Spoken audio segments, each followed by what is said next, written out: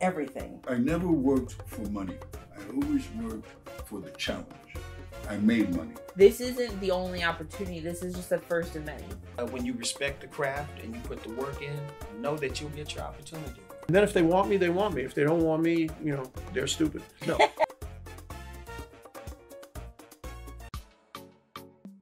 Pity the man who walks alone. How can he take care of himself? When you partner with God and he partners you with somebody else, you're going to be okay.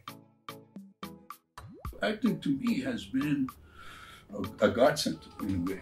You know, it really brought me to where I am today, and I feel comfortable with myself, comfortable with the world, comfortable with people. Not that I ne- never was, but it, it made me realize this. Mm-hmm. It showed me that this gave me the opportunity to grow as a man, as a person, to be aware of my surroundings, to be aware of my space. I recommend acting not just to act, but to use in life, To develop you. in life, just to be a person. You don't need anybody to make you happy. You have to find happiness in yourself. That's your responsibility. And a relationship should be someone who does not upset the happiness that you have in yourself. So that you know you're not because you're putting unnecessary pressure on the other person that's that's not that's not good, and you're absolving yourself also the responsibility of making yourself happy. So I think that you know that sort of you know good lines like that makes it easier because if you can love yourself, then you have room to love someone else. But if you don't love yourself and really enjoy being with yourself and working through yourself, then you're not going to have good room for anybody else. anytime there's a transition in our lives, a lot of times stuff from the past will bubble back up. And it's a great time to actually have that opportunity to get curious about where I have hurt and where I'm still holding.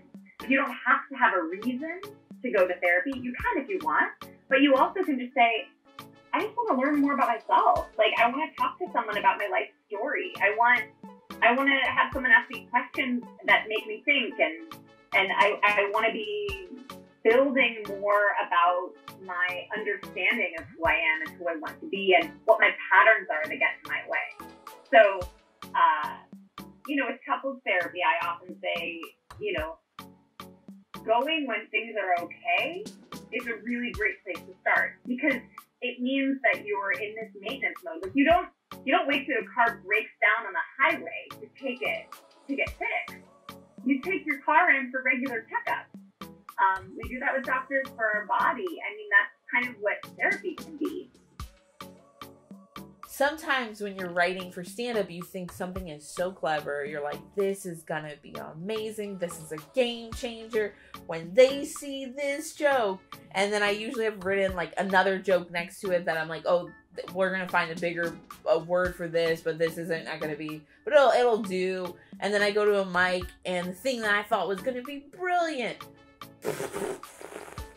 And then the thing that I was like, this is filler, everyone's like, that's amazing. And you're like, oh no, oh no. So, um, yeah, that's what I like about it is like you, I hate and I love it, is like I have no control over it. Screenwriting is very much a science and it takes time and you got to be easy and gentle with yourself because that might take a little longer depending on where you are with your writing skills. Um, and i just didn't realize i think maybe they told us in film school but i was just hard-headed and didn't listen and was just like you know i just i just made this amazing feature i just wrote it and it's good. No you vomited a draft that needs a lot of work and is horrible okay so i've um have learned over the years that um you know with writing it takes a lot of pruning and it takes a lot of rewriting um, and a lot of getting it right a lot of perfecting because hollywood unfortunately can be very unimaginative so, so you need to make sure that it's spelled out on You the have page your world. yes No matter what the industry is selling you, Mm-hmm. That there's definitely two distinct Hollywoods. Ooh, okay. Okay. There's, there's white Hollywood and there's black Hollywood. It's okay to approach it from a perspective that you are going to break down barriers regardless of what you're challenged by, please keep that in mind. Keep that in your heart. Um, but just know that the two do exist. And so a lot of the opportunities that you'll see your white counterparts getting will be a lot harder for you to get. Mm-hmm. And just because, you know, a lot of places are selling quote unquote diversity now, a lot of it's just talk. Mm-hmm. Mm-hmm. And so you have to really get into the underbelly of what's really going on and surround yourself with good people. If you're doing comedy and you really want to do drama, then you should take an acting class with a really great drama teacher. Somebody who really will take you to that other place. If you're doing drama and you want to do comedy, you should go to an acting teacher that is the comedy acting teacher. You want to start exploring that other um, area, tapping into, oh, I want to, you know, I'm tired of being the victim. Now I want to be bad guy. I find that a lot of people stay stuck, not because they're tired of it, but they're afraid to change. They don't want to mess with anything that, that made them successful. I think as an actor, you should always challenge yourself. It's funny because in these COVID times when you're not going out and seeing people, we have been so comfortable together and gotten probably closer than ever. Like life passes you passes you by, and, and you never spend enough time with those people you love.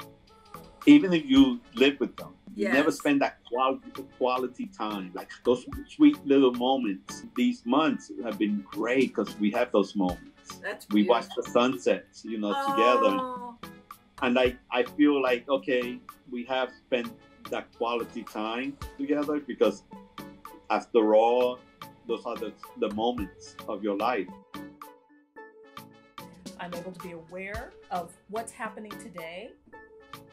In many cases, is a result of something that happened several hundred years ago, and you can see the evolution of that that we're still dealing with. That we're still trying to, you know, um, one of the things, one of the uh, characters in Volume One is Angela Davis, and speaking with her through the megaphone and the audience. And one of the things that I'm taking you into a, a '60s rally as as uh, Angela Davis and saying, you know, and and uh, that women should be paid the same as as men, and you can hear the audience still roar because we're still dealing with that today.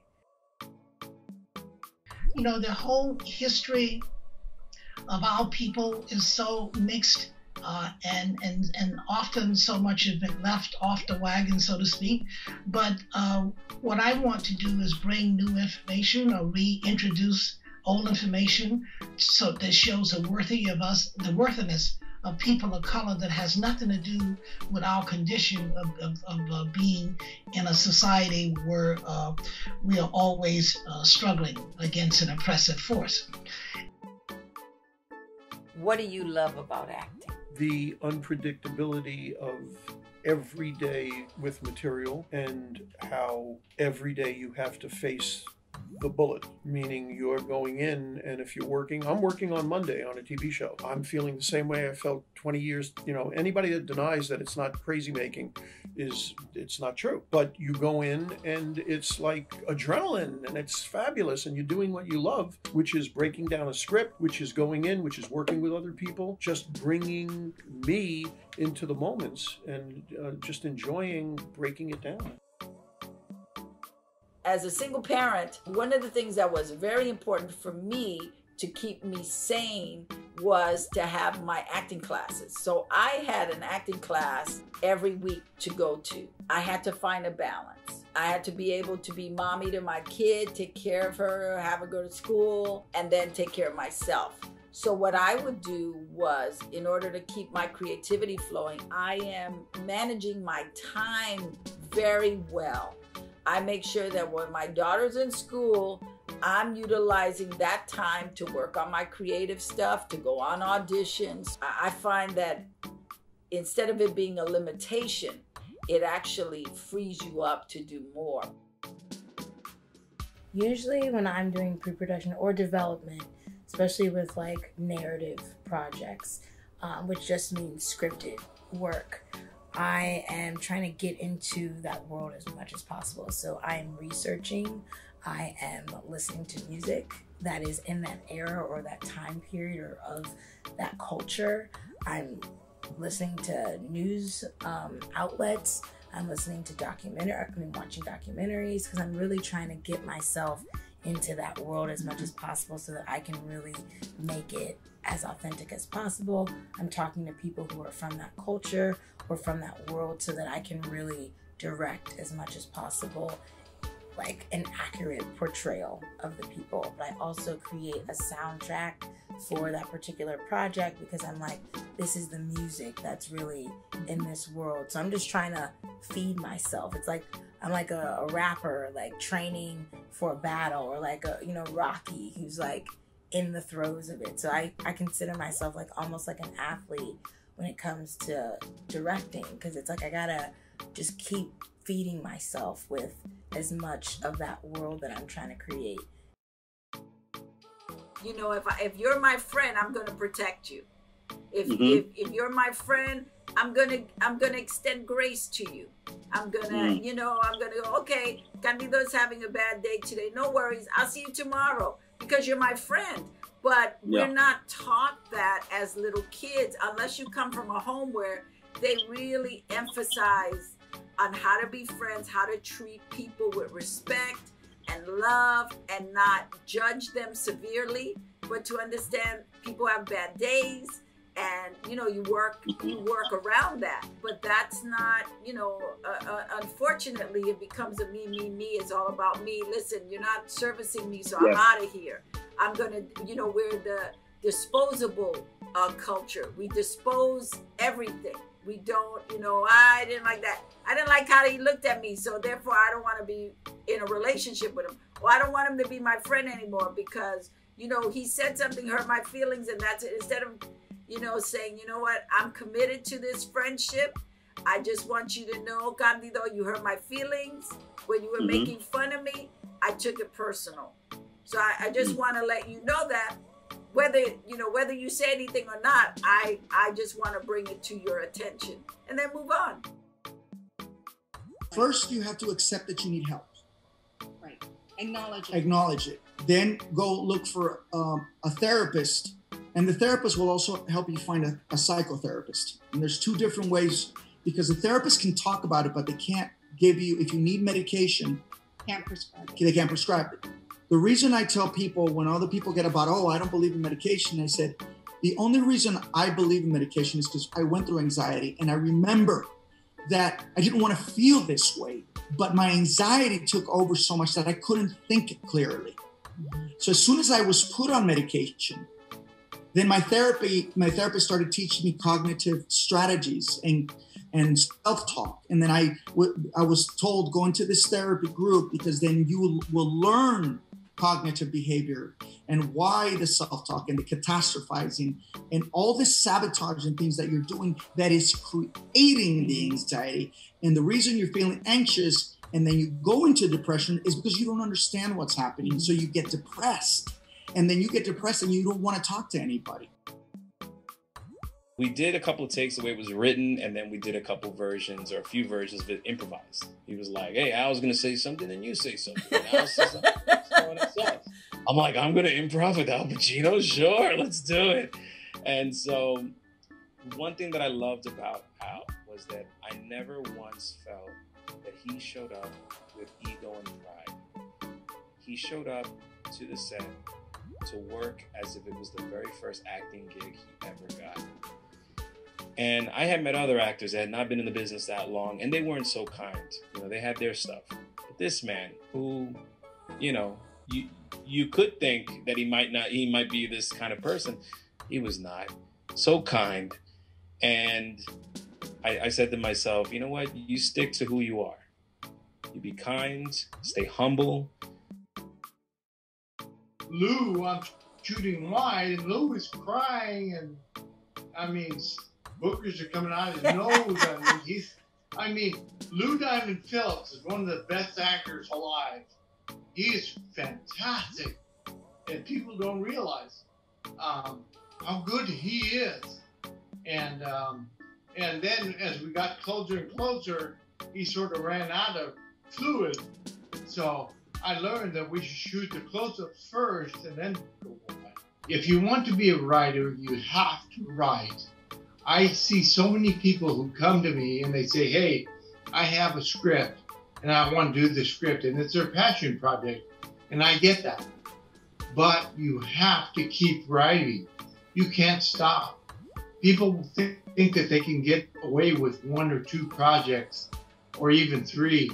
I wrote a dozen before, you know, I just kept writing and writing and writing and writing. And also, you can't be precious about your writing. You have to understand that um, there are people will buy things for certain reasons, and it has nothing to do with your passion necessarily or your voice. Um, if you go work for somebody else, you have to have um, be able to emulate their voice for their series so that you can do their show, not your show, their show.